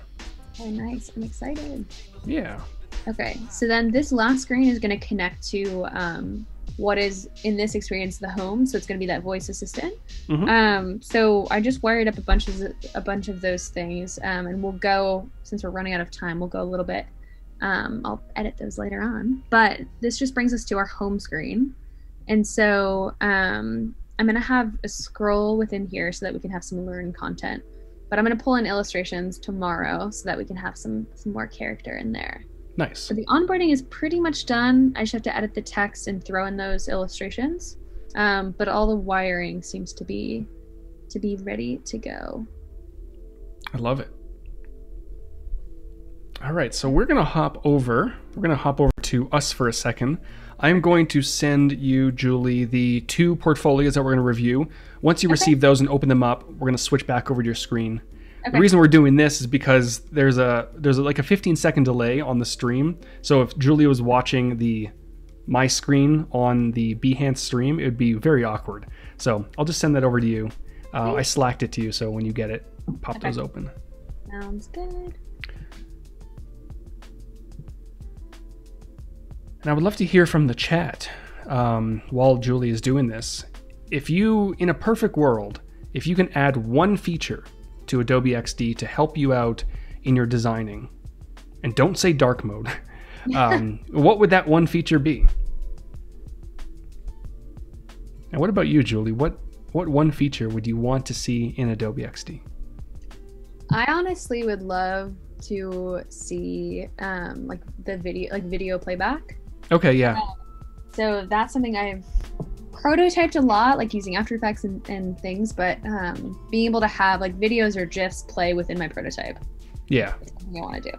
Yeah, That's and and I, if I sound like a broken record, it's definitely you know one of those things that the team is exploring and wants to get to video and GIF support. Yeah. It's also another one of those things that could bring down performance when you have moving videos or large GIFs, because some of those videos and GIFs get like massively large. And whenever Yeah. you bring things like that into XD, even when you bring massively large images from Adobe stock, there's always the, per- the the chance that if you have enough of them, performance would suffer. So when it comes to the videos and GIFs, that's just amplified by I don't know, a 100. So Yeah. performance yeah, you know. the question of performance versus the actual feature yeah and whether it's worth it i know i mean luckily you can get away um, with doing it using multiple apps adobe apps together so Mhm. for now like i'm not blocked from doing that which is nice um, but yeah it's thinking about like the future um, if we can master the performance that would be an awesome feature Yeah, there's also the Anima plugin, which was Yes. recently released, that allows you to add in a video. It just basically shows a placeholder, and then when you preview that prototype on Anima's website, it would it would play the video. So it's a little bit of a an extra step in there, but it's something that you can do in the meantime. Yeah, a lot of people in the chat are talking about um, linking videos. So Yeah. putting in a video and be able to link out to something else. That's super Mhm. interesting. Yeah. That makes sense. I was I was prototyping a um, text based, like kind of like an AI chatbot, um, which there's a lot of links within that. Um, Right. And so having being able to prototype it actually opening up, you can use auto animate, but it doesn't actually show um, the live website. So Yeah. yeah, video is a big a big one in there. Mhm. Okay. I agree. Um, so we're on Behance All right. right now. So I think we're gonna check out the the daily creative challenge. Is that right? Sure. Let's let you Cool. go through them.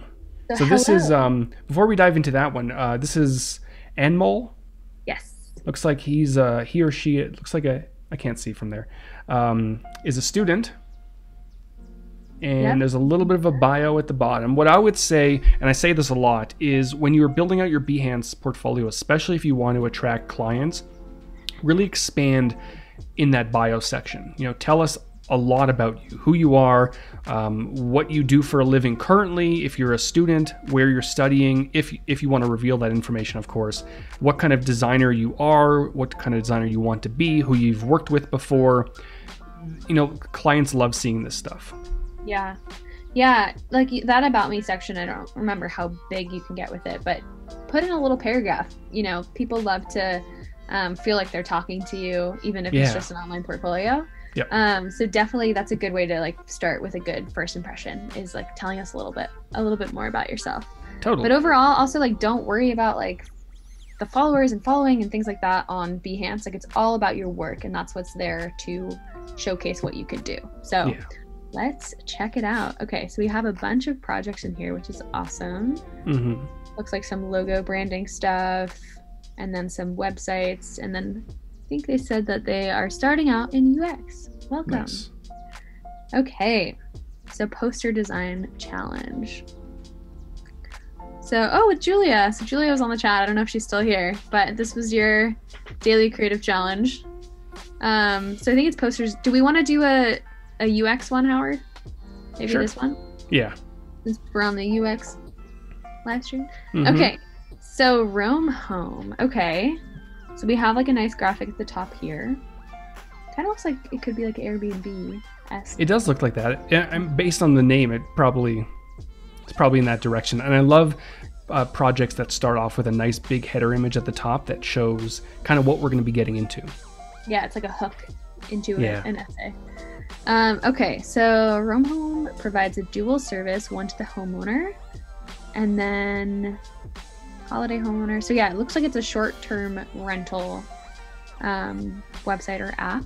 hmm So renting out your home on platforms like Airbnb can be rewarding yet time-consuming. Okay, so it looks like we're trying to solve for um, problems that Airbnb and websites like that are having.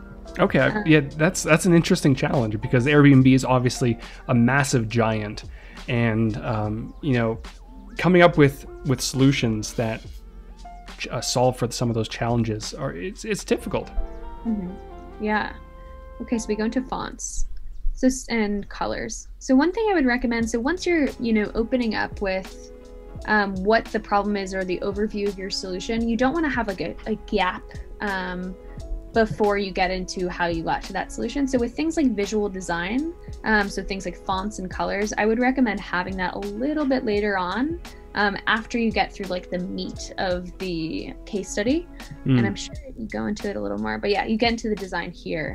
Um, I would recommend flipping that. So putting the design up right after you talk about um, what you, you know, solved, and then having those visual design elements um, a little later on. Yep. It's good feedback. This looks great. What are your thoughts on you know? There's there's definitely a lot here. There's there are a lot of screens. Do you think Yeah. there are too many screens, too little screens? Are they spaced out enough? So there are definitely a lot of screens, Yeah. um, which is good because you're showing like breadth of what you can do. But with case studies, especially, I think it's it's great to talk about. People want to see, especially like, you know, companies that are hiring. They want to see your process in getting there and the Mhm. decisions that you made for each of those um, experiences. So I would pick a few, and sometimes you can also have um, like gifs playing of your prototype, and so you can get multiple screens just in one in one Right. um, view box. So I would recommend choosing like the main elements of this experience. So, for example, um, the search page would be one that I can see, and then actually booking would be another one.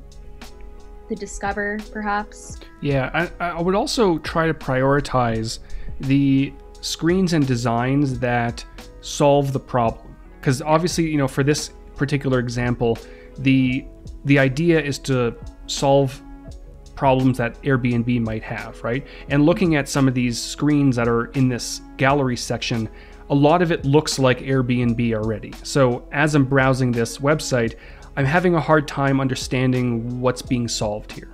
Yeah, Yeah. So that's where going through the problem. I know we talked about before, like the problem of having too much text and explaining too much, but you also don't want the opposite where you don't explain much at all. Right. Yeah. Um, so finding that right balance of explaining what you are, what are those specific problems that in this case Airbnb is having that you're solving for, and then the solution that you came up with for that. Um, I so yeah, I think just a few more details um, within, you know, pick five screens and then um, talk about what those details are and what problem each of those had solved. yeah. And design wise, it looks pretty good to me. Mm-hmm. Yeah, it does. You have some nice photos in here. Just zooming in. Um, amenities, facilities. Yeah, I think. I mean, design-wise, it's things are are laid out well. Um, you know, you have consistent imagery within Mhm. there and consistent style. Wow, that's a cool house. this Casa Bonita one. Um, and then you have Instagram in there, which is kind of interesting. Yeah, I think I think the biggest feedback is just um, condensing it down a little more and focusing on on what those screens are Yeah. that are solving the problem. And then it looks like responsiveness. So I don't know what responsiveness for this section. Oh, oh, it's four different screen sizes. Yeah, that's what I'm assuming. Yeah, I can see that there. Yeah, and for Yeah, things think- like that, just to make sure that people who are scrolling know exactly what they're looking at, it could be as simple as just adding a subheader. So you have responsiveness as the header, and then underneath, you can have something like "looks great on all devices" or something like that, just to really tell people that that's what response. Because responsiveness could mean a lot of different things. Yeah. And also with that, think about like why do you have that section? You know, so for this, for example, people are going to be on the go. They might have be using a mobile tablet, they might be Mhm. using a laptop. So you are designing for multiple screens for a reason. But some apps might not be mobile based because of the problem that you're solving. Um, so that's good to always explain too, um, and and ask yourself like, do I need this section, and what is it solving for? Totally. Yeah, cool. And then colors wise, you go through that. Um, I like to sometimes have, if you have a set of illustrations, you can call out whether you design them yourself or if you had an illustrator. Sometimes that's that's fun, especially if you do design your own illustrations. Yeah. Um, yeah, you can you can throw that in there too. Yeah. For these ones, I I, I do notice that they. Uh, I believe it's an unDraw unDraw illustration. Yeah, I, was have used that in the past. It looks like it. Yeah. Yeah. Um, for those of you who don't know unDraw, it's basically an open source illustration library. Um, so you can edit everything like the colors and the layout um, of all of those illustrations, and they have a ton of different scenes out there. So you can check that out. hmm Okay. All right. Let's take a quick look at one more from uh, Anmol. Yeah. Cool. Okay. And Let's go to sorry. this one, Sure. the creative challenge. Okay. Okay, so great. You have the challenge prompt in here. So design a personal finance experience that rewards user meeting users meeting their goals, and then use auto animate. Was this an Andrea one? I think so. It might have been. It looks like her style. Yeah. Okay. Yeah, we've we've um, started to adopt her templates because they're just so amazing, and they've Yeah. just made my life so eas- easy. Yeah, definitely. No, I know her Behance page is like perfectly curated Uh-huh. out. It's awesome. Okay, so I'm gonna just scroll through first so we can get an overview of everything, and then we'll jump back to the top. So we've got a few screens in here. Oh, and then you have a prototype. Nice.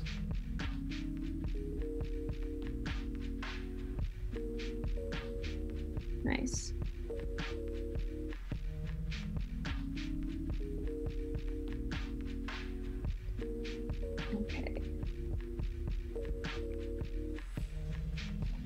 All right, so that was a quick view of the prototype. All right, So right. So right off the bat, I do have a little bit of feedback. I'm just going to zip through it because we do want to get to the next portfolio. Yeah. So um, the the white text on the green background, little bit difficult to see. If you're thinking about accessibility, um, it may not, it probably won't pass. So I would I would work on that a little bit. Either change the green to a darker green or use a darker text, for example. I do see over to the right in the collection section, there's there are some dark borders around those buttons. May not necessarily be necessary. Um, so you, you probably want to get rid of those. And then uh, there was something else that caught my eye. Where was VIC, it? the icons are pretty different. Yeah. Oh, yeah, that's Um, what it was. Yeah. Yeah, so I think finding you can find an icon kit that has a bunch of different icons that have the same style. Yeah. And use that. Um, but just make sure that like visually they look consistent across the three of them. Yeah, and there was one section that had two buttons. I think one was green, one was that one there. The buttons are different sizes, which Yeah. could be very confusing. So I would just streamline that, make them the same size. It's good you have two different colors, but Mm-hmm. definitely, you know, streamline those buttons so they're more consistent. Yeah. Yeah, and I think I agree with Howard with the with the borders as well. Sometimes you don't need them. If you want to try, you can play with drop shadows even. Um, but it looks like you you might not even need them in there. Yeah. so Cool.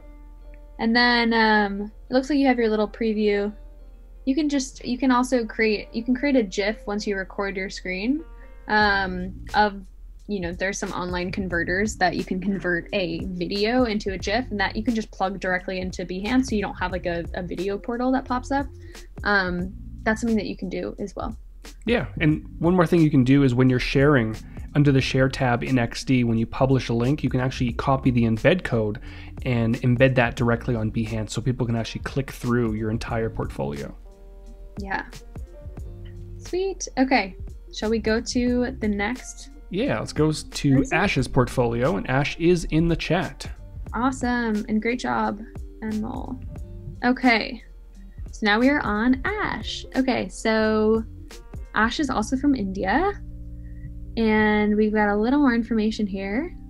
So, yes, art and D. I'd love to learn what that is. That sounds cool. Mm.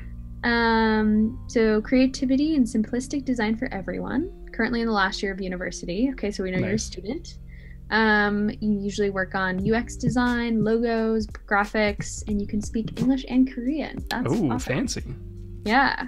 Um, you have your email, which is great. Um, and then Adobe Live Behance, you've been featured, and here you are again. That's awesome. Um, okay. Let's see. Howard, do you have any comments on the bio Behance page? I think it's good. I think it's definitely it goes into a little bit of detail. Um, it looks like you have ES Art, ES Art and D possibly, uh, who you've possibly worked with or work for or whatever you do. Um, I would also include that in the bio if you've worked for other companies or you've done client work. Throw that in there as well. Um, just kind of adds to your experience so that you, you seem a little bit more legit, right? Yeah. And if you have like a separate portfolio website too, like if you don't just use Behance, I would always recommend throwing that in there too. Yeah. Um, just for having wherever your work shows up, throw that in your Behance as well. Yeah. And yeah, you got featured on Behance with XD and interaction channels, which is awesome. So we won't go through that one since you've been featured, which is great. But let's go through maybe this 10 minute design challenge. Sure. Check that out. Okay. This is cool. You only have Yeah. 10 minutes. It's an interesting style. have to complete within 10 minutes using only two colors and keeping it minimal. That's Okay. fun. Okay. So you go through day one, create a piece of communication that gets the stay at home message across. This could also include the social distancing advice as well. Okay, so this is related to COVID. Mm-hmm. Don't rent a home. Okay. Oh, okay. So these graphics on the left here that you created in 10 minutes. Yeah. Sweet. And then don't run to the toilet paper. Yeah. 2020. That's just the icon struggle. for 2020. It's just a roll of toilet paper. Roll of toilet paper. um, yeah, the need to shop responsibly. And then day three. Okay, so it was like a full week long challenge. Um, create a partner, create a fresh and unusual logo. That looks cool. Oh, so Ash says the first one is two people looking outside. Oh. Okay. Okay, I didn't get that. I kind of thought it had to do with like a. It almost looked like a UFO, Yeah. right? And but I now the, see the the, virus. So they're looking outside, and I think it's that, that's the virus up there. Ah, I got it. Okay, that's Hmm. awesome. Yeah. It's fun how in ten minutes you come up with a concept and then like quickly create it. It is so Um, difficult to do something in 10 minutes Yeah, because sometimes just the just the idea takes hours and hours of research. I know. Yeah, and even just like messing around with um like making sure that these lines are consistent across. This toilet paper looks great. Yeah. like in 10 minutes, that's awesome. Mhm. Very, very good job. Um don't be in a circle, be in a square. I wonder what that is supposed to mean. Ash, tell us what that one distance means. and okay, I, I think I get it. So it's like social distancing uh, maybe, Okay. possibly. So like not being in crowds. Mm. Okay, stretch your body, not the virus. Very important. I like the uh, the little icon, the stretcher on the far left. it. It. really looks like it has a bit of motion to it. Yeah, yeah. I love that with the um, the change in the handicap sym- uh, symbol many Mm. years ago. Um, when it went from kind of a still image to a like moving image, it was like a very empowering um, shift. That's super important. So Yep. this kind of gives a similar flow um, where it's like a dynamic icon, which I, I really agree. like. Okay. Oh, this is cool. All right, so you've got a bunch of different ones. This was a long challenge, 10 days. Mhm. Cool. And I love, um, I love the little Game Boy and the the beer icons. yeah, we need a Nintendo Switch in there. Yeah, Those have been hard to come by this. I know. quarter, which is crazy. I just got one last Oh, week. really? I'm super excited. Yeah. Nice. It, it took a long, long time to get one, but Yeah, a few of my friends have been trying to find one, and it's been Yeah. difficult. And of course, that you know they don't want to pay five or six hundred dollars to get one from a scalper. Exactly. I know. Yeah. So it's like you just have to wait for the right moment when it, it's in stock. Yeah. Um, okay, let's do a UX project as well. Um, so we can do Howard. Which one do you want to do? Should we go through the ice one or a different one? Uh, the one you clicked on looked pretty good. This Possibly. one? Okay. Cool. So this is from 2019 during an internship at Hyper. Okay, so that's a great intro. Ooh. Um, so you just like give, you know, that this was an intern project I worked on. hmm Um, you can even link out to the company that you worked at. That's sometimes Yeah. helpful. Now, is that the hyper? Oh, it is. It's is that Hyperloop, like the Boring Company, Elon Musk? Oh, it looks like it. Yeah, I would love to. Just because I'm a nerd and I love all the things Elon's doing, it, I would love to know what you've done, what you did. Maybe you'll get to it a little bit further down, but I would love to know what you did specifically at um, Hyperloop. Yeah, definitely. Yeah. That's a super interesting topic. Mhm. Yeah. So you'll probably go into that too, but it looks like um so this card sizes piece, I'm not exactly sure what you did within here. Um so like it could be a before and after, it could be I don't know, Howard, what do you think? It's hard to tell, but it could be. Um, oh, Ash says it's a local company. Okay. Um, Okay. So it maybe it's just revolving around the Boring Company and Hyperloop and things like that. But um, it could just be var- uh, variations on these cards. But I Mm-hmm. would, yeah, like you said, I would love to know more about this, what these cards are used for. Um, yeah. Just, yeah. Just and really add, explain yeah, it. like you said, um, since it's a local company, just add a little more details. Um, just so you don't confuse people and set up a different expectation on what they should be looking for, because it could be something totally different. So yeah, just do a little more of an intro, I'd say, in the beginning. yeah. And Okay, so Ash says they are different sized cards for different resolutions. Got it. Okay. Cool. Okay, makes sense. Yeah. Okay, so we're in the admin app portion. Okay, so like we had mentioned before with the last portfolio, I think talking about in the beginning what problem you're solving for will help set the stage for the whole case study. Yeah. Um, so you know, with the admin app in here, what what were what problem were you solving for? Like have a little description box um, at the top of that section to explain each of those. Yep. And it looks like he'll update that in there. Okay. And then let's see. We have a chat dashboard account. Yeah, it's so hard I to think tell from from this you know being zoomed out like this but um, the, the icons look a little bit difficult to see you know i love using line based icons but sometimes if you're if they're not thick enough they can be they can kind of get lost in the navigation bar Yeah. Yeah, you can just make them a little bigger too. Um, Yeah. And it depends, you know, accessibility wise, it's important to have um, the names of each of those icons. But if they're extremely self explanatory, sometimes you don't need them. Yeah. Um, but general rule of thumbs, it, it is nice to have the, those descriptions, which you, you've gotten there. Totally. So we have about a minute left. Okay. Let's take a quick look at the rest. Yeah. So I think colors wise, you could add some some fun colors in there, but that's that's just me. I love adding fun colors. Um, this looks great. So it looks like some wireframing. Um, so you have like placeholders for images, and you show where they connect. I like Um, that. Yeah. Yeah, that's great for being able to see. And then if you have an interactive prototype, you can throw that in there too. Eventually. Yeah. So. Totally. Cool. Alrighty. Hey. So that's going to wrap it up for today. If you didn't get your portfolio reviewed, we will definitely be reviewing portfolios uh, probably later in the week, and if not, definitely next week. So stay tuned for that. Tomorrow we are going to be reviewing daily creative challenges. And Julie, what are you going to be tackling tomorrow? Yeah, so we have a lot to do tomorrow. Um, Mhm. So we'll be going into. I'm gonna go and um, add in some more visual elements, and then we'll go and do a lot more um, prototyping tomorrow.